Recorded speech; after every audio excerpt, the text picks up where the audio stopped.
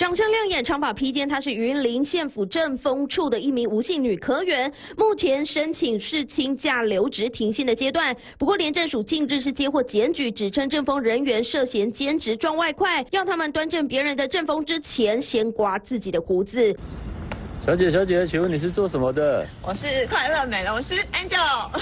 这名女科员在申请事亲假留职停薪之后呢，曾在脸书晒出她照顾外公的合照，摸着阿公的头部，还写下越来越进步的外公快要可以回家了。那么，脸书的网友还纷纷暗赞鼓励，祝福她的外公是早日康复。没有想到，一段时间之后，女科员就在脸书以及 IG 贴出直销的相关讯息，四处兜售使用产品的心得，还兜售了保健食品。那么，她短短一个月就赚进近七位数的新台币消息传回政风单位呢，引起同事哗然。那么由于他仍具有公职的身份，在外兼职已经涉嫌违法，现在廉政署要查办。